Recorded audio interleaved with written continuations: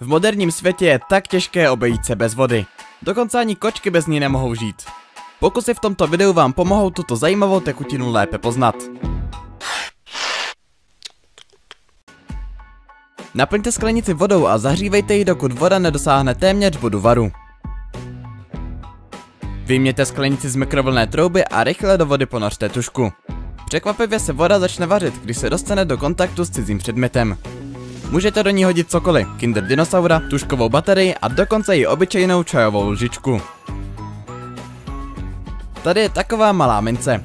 Co myslíte, kolik kapek vody se na ní vejde, než voda začne stékat přes okraje mince?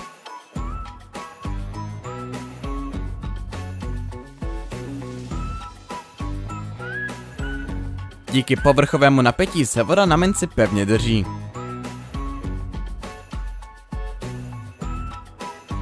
Vezměte dvě půl litrové lahve s vodou bez bublinek a vložte je na 2,5 hodiny do mrazáku při teplotě minus 25 stupňů. Poté lahev výjměte z mrazáku a udeřte s ní o stůl. Voda vám zmrzne přímo před očima, je to kouzelné. Pro další pokus budeme potřebovat vodu, krabičku zápalek a laserové ukazovátko. Vložte jednu zápalku do krabičky a rozlomte ji na půl, tak jak je ukázáno ve videu. Vezměte druhou zápalku a na rozbitou zápalku kápněte několik kapek vody, dokud na ní nebude vyset kapka. Zapněte laserové ukazovátko a naměřte ho na kapku vody. Po vypnutí světla můžete pozorovat krásu celého ekosystému v této kapce vody promítané na stěnu. Je úžasné, jak si můžete sestavit extemporální mikroskop a pomocí obyčejných předmětů pozorovat nejmenší objekty obsažené v kapce vody. Nyní potřebujeme skleněnou lahev a kousek bavlněného obvazu, který pomocí gumičky připevníme k ústí lahve. Jak vidíte, voda volně vtéká do lahve, ale nevytéká z lahve ven. I když se dovnitř snadno zabodnou párátka. Vezměte si kapátko a chytrý telefon.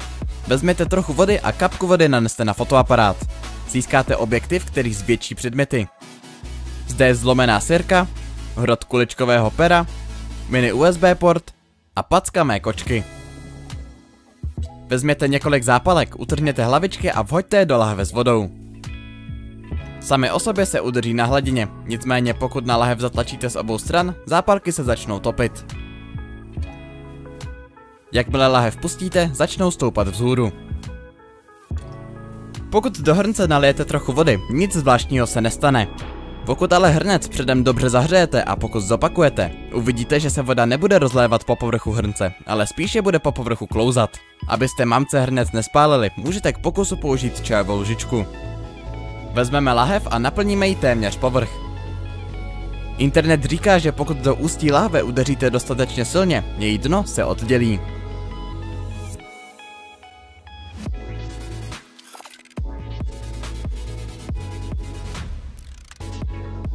Opravdu to funguje. K dalšímu pokusu budeme potřebovat misku s jedním litrem vody, odměrku z 300 ml vody, 1 gram alginátu sodného a 5 gramů mléčnanu vápenatého, které můžete koupit na internetu.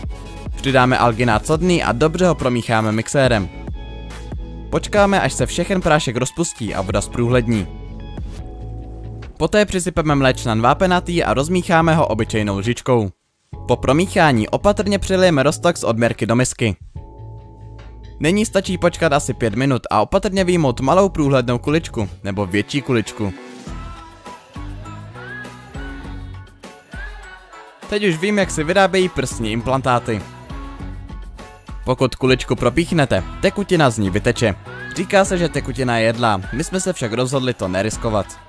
Ani nevím proč, ale rozhodli jsme se vstříknout dovnitř inkou z tiskárny a dokonce ji spálit. Jelikož je koule téměř celá z vody, nemohl se mi zapálit. Podařilo se mi jen jí mírně ožehnout.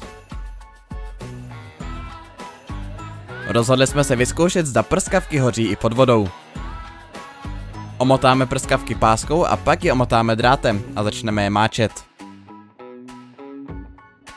Je to překvapivé, ale nezasínají. Je to tak proto, že prskavky mohou obsahovat chemické látky, které produkují kyslík, aby udržovaly oheň a aby světlo při jejich hoření nezaslo. Uvolňují se z ní hodlavé plyny, které se vznítí, když se z vody uvolňují. Pokud se vám video líbilo, nezapomeňte se o něj podělit se svými přáteli. Motivuje nás to k tvorbě lepších videí.